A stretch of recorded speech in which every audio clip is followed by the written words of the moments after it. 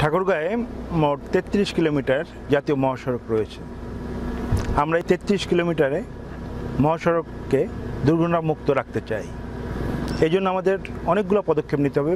রাস্তায় আমাদের যে শোল্ডারগুলো আমরা আপাতত শর্ট টার্ম যে আমাদের মেজার, সেটা হচ্ছে আমরা শোল্ডারগুলো আমরা ঠিক করে দিব। আমাদের যে যেসব জায়গায় সাইন নেই, বিভিন্ন চিহ্ন নেই সেসব জায়গায় চিহ্নগুলো আমরা দিয়ে দিব।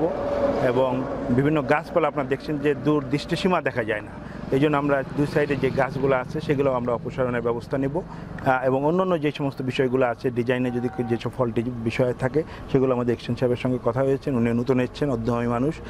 তাদের তার সহযোগিতায় আমরা এই রোডটাকে না, ডিজাইনে কোনো ফল্টেই কোনো কিছু না থাকে, সে বিষয়ে আমরা মেজার গ্রহণ করব।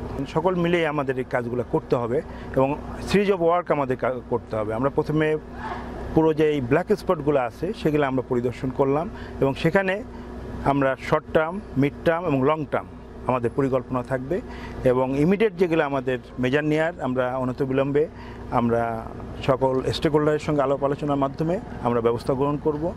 আমরা ব্ল্যাক স্পট চিহ্নিত করছি, কী কী কাজ করতে হবে সেটা নিয়েও আমরা আলোচনা করলাম। এরপরে আমরা যে মালিক সমিতি, যারা চালক আছেন তাদের সঙ্গে, যারা জনগণ আছেন জনপ্রতিনিধি আছেন সকলকে নিয়ে কিন্তু আমাদের এই কাজটা করতে হবে। এটা এককভাবে, একক কোনো ডিপার্টমেন্টের পক্ষে দুর্ঘটনামুক্ত সড়ক আমরা নিশ্চিত করতে পারব না। আমরা সকলকে নিয়ে, জনগণকে নিয়ে, জনপ্রতিনিধি নিয়ে এবং সমস্ত ডিপার্টমেন্টকে নিয়ে আমরা এটা কাজ করব এবং একটা অ্যাকশন প্ল্যান আমরা তৈরি করছি এবং সেই অ্যাকশন প্ল্যান অনুযায়ী আমরা কার্যক্রম ধাপে ধাপে নিব এবং আমরা আশা করছি যে আমরা মিনিমাম পর্যায়ে এই ঠাকুরগাঁয় মহাসড়কে যে লাশের মিছিল সেটা আমরা কমিয়ে আনতে সক্ষম